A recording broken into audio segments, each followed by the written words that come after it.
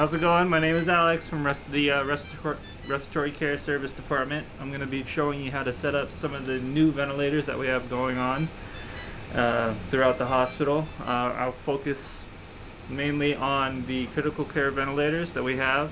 So we have a couple different ones. This is the, the new Vela, the CareFusion Vela.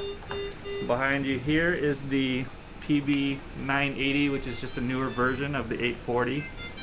And then our transport ventilator here, which is the LTV. This will probably mainly be used in rapid response and the ER.